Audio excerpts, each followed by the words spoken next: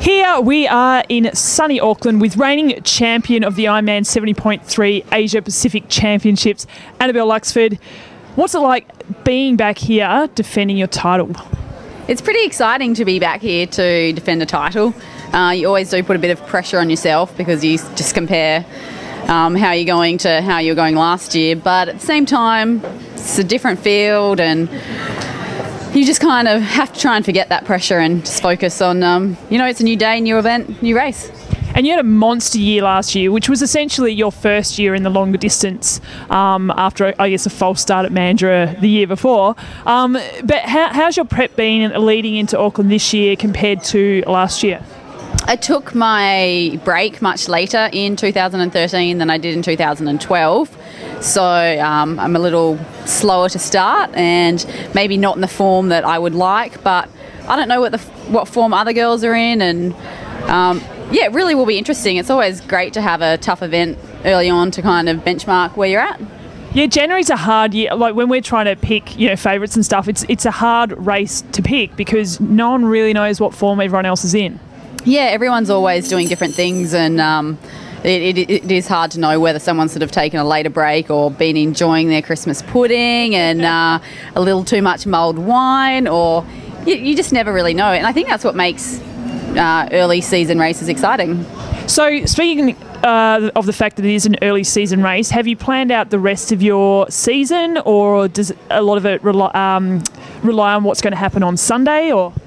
Uh, no, I have made some plans for the rest of the season. Uh, I don't think you can get away with racing anymore. Um, just sort of making your mind up as you go along, particularly because points are involved. And fortunately, I have qualified for Mont Tremblant already, um, but I sort of have decided in the last few months that Kona is a goal, and I'm going to try and give that a shot. So I need to pick an Ironman, and it really is a points game. So um, yeah, I have made some plans. Well, Kona 2014 is a goal. It is a goal. I um I never really thought I'd want to do a race that extended over multiple meals. I kind of thought if you put a race between two, you know, breakfast and lunch or lunch and dinner, that was a really reasonable thing to do. But throwing that idea away, and Kona is something I'd like to do. So I'm going to have a crack at trying to get there. But definitely, it's it's not going to be an easy task.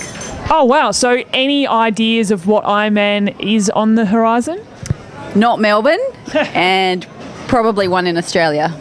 Ooh, interesting. All right. Well, hopefully uh, the Ironman debut doesn't go across three courses breakfast, lunch, and dinner.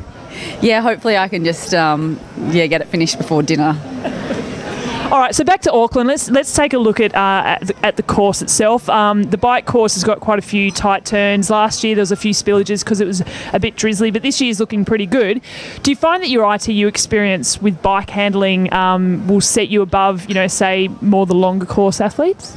Yeah, I mean, definitely ITU um, had some challenging courses in the uh, multi lap format meant that we were um, definitely exposed to more technical aspects of racing than probably some girls who've just grew up doing long course.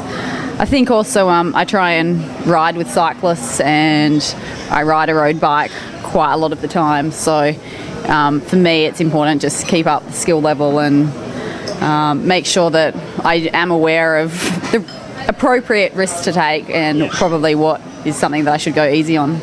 And last year, um, I think it's fair to say that Auckland was a, a career defining uh, race for you in terms of stepping up to the long distance. You were still pretty new to, to that kind of scene. Um, do, do you see it in the same way?